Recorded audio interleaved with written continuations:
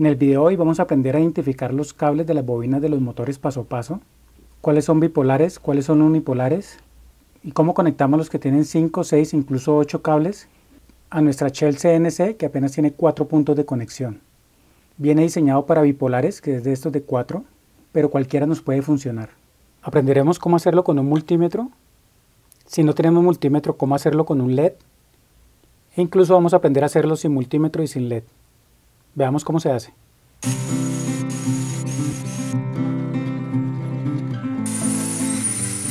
Realmente quiero mi CNC.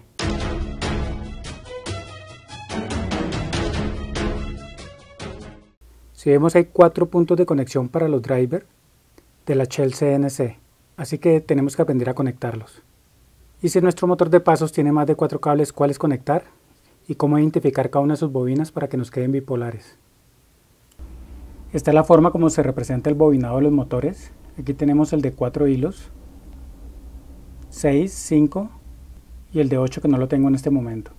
Comencemos con el de 4 que es el más fácil, ya que son solamente dos bobinas. Físicamente no está de esta forma en el motor, esta es la forma de representarlo, pero nos ayuda a hacer el análisis. Realmente tiene varias de estas bobinas duplicadas, para que pueda dar pasos muy cortos. Este por ejemplo para dar una vuelta requiere de 200 pasos, Así que tiene muchas de estas bobinitas. Pero se puede entender con este diagrama. Este es bipolar, el que se conecta directamente a la Shell CNC. Y lo que debemos identificar cuál es el cable de cada una de las dos bobinas.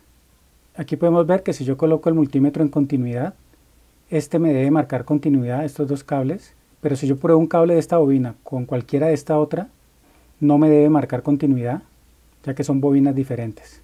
De esta forma es muy fácil de identificarlo.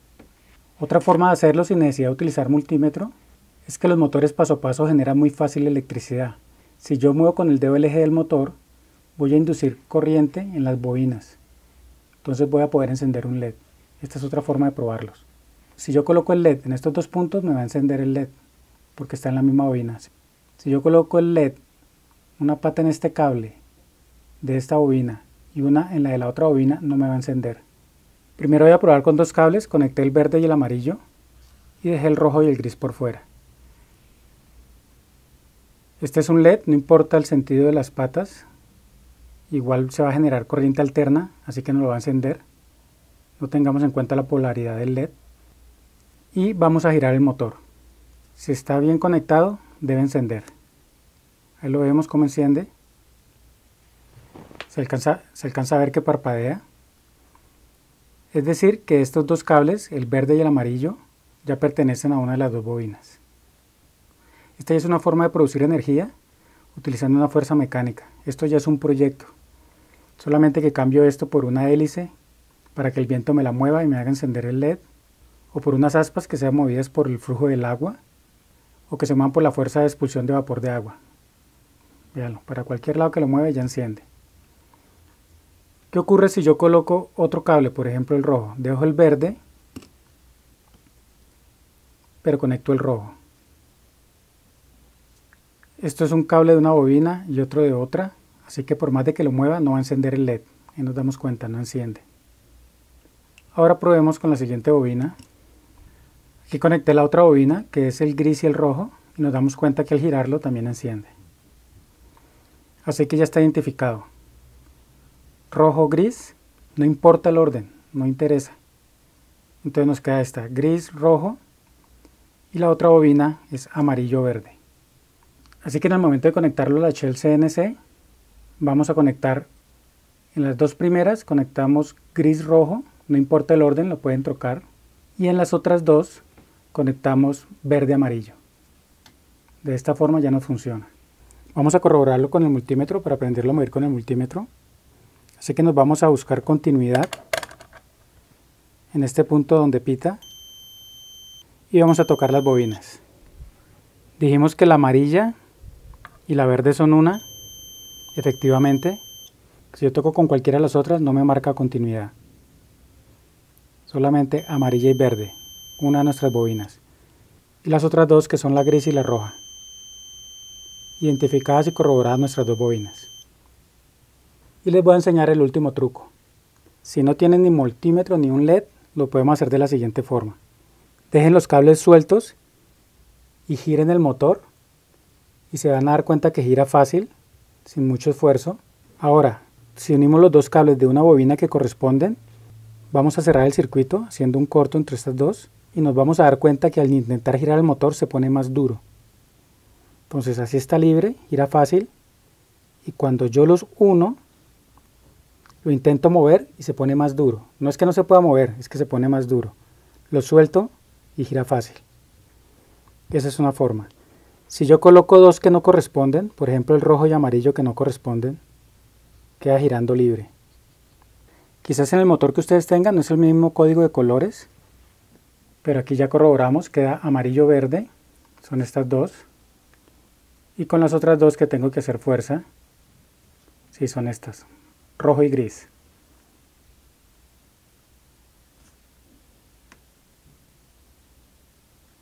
Así ya está correctamente identificado y vamos a hacer lo mismo con nuestros otros motores.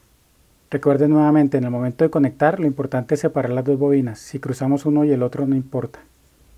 Es lo mismo.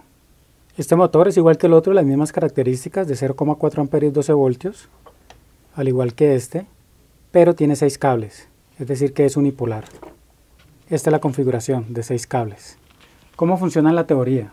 Yo lo que debo identificar son estos dos cables y estos dos, los de los extremos porque de esta forma tendría cuatro cables y me quedaría el bobinado igual que este, que el bipolar. Y debo eliminar y no usar estos dos del centro. Si yo mido con el multímetro, estos dos me van a marcar continuidad, porque aquí hay continuidad. Pero si yo mido este con el del centro, también me va a marcar continuidad.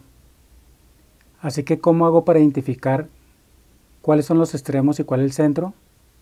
De la siguiente forma como aquí hay más cable dentro de la bobina, entre los extremos, los ohmios me va a dar más alto, me va a dar continuidad, pero los ohmios van a ser más altos que si mido el del centro con cualquiera de las esquinas. Si yo mido el del centro con esta, pongámosle que me dé 70 ohmios. Mido el del centro con el cable de arriba, me va a dar 70 ohmios también. Y si mido entre los dos extremos, me va a dar el doble, o sea 140 ohmios. Vamos a probarlo. Coloco mi multímetro. Esta vez lo coloco en la escala de, no de continuidad, sino de ohmios. Lo coloco en la escala de 200. Empiezo a ver cuáles tres cables me marcan continuidad entre los seis. Voy a ayudarme unos caimanes o cocodrilos. Pongo una esquina en el verde y voy a empezar a tocar los otros. Con el amarillo no me marca nada, con el blanco tampoco, con el gris. Aquí veo que me marca 150 ohmios con el rojo, no me marca nada, con el naranja, entonces me marcó con el gris y el naranja, los aparto. Es decir que estos tres cables, verde, naranja y gris, pertenecen a una de las bobinas y los otros tres a la otra. Vamos a corroborarlo con el naranja 76 ohmios, con el gris 145. Los dos extremos son estos que me marcan más de 140 ohmios. Y el del centro es el naranja, que con él me marca 76. Y si yo mido entre estos dos también me debe marcar 70 y algo. Aquí vemos, efectivamente 73. Voy a eliminar el naranja, que es el del centro, y voy a utilizar los dos extremos, que son verde y gris. Hacemos lo mismo para los otros tres cables. Vamos a fijar el primero, el rojo, y con la otra punta tocamos los otros dos cables. Con el blanco me marca aproximadamente 80 y con el amarillo 152. Ya están identificados entonces los dos extremos son rojo y amarillo y el del centro es el blanco porque me marca menos. Estos dos cables que no vamos a usar, que son los del tap central, los descartamos, no los vayamos a unir ni a conectar a nada, sencillamente no los usamos. Si queremos los podemos cortar para que no hagan contacto. Y vamos a utilizar solo estos dos, verde gris y rojo amarillo.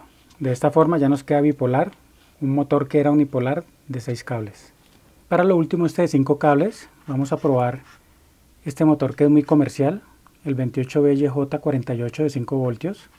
Y si nos damos cuenta, es este mismo solo que trae unidos los dos del centro, los dos que vamos a eliminar. Como es un estándar, ya lo medí, si utilizan este mismo modelo, esta misma marca, el que tienen que eliminar es el rojo, no lo van a utilizar. Y las otras dos bobinas son rosado naranja rosado naranja y amarillo azul. Amarillo azul. Si quieren compruébenlo y verá que les va a funcionar. Conectando eso les funciona conectando la shell CNC. Algunas personas recomiendan abrir este cable rojo por dentro.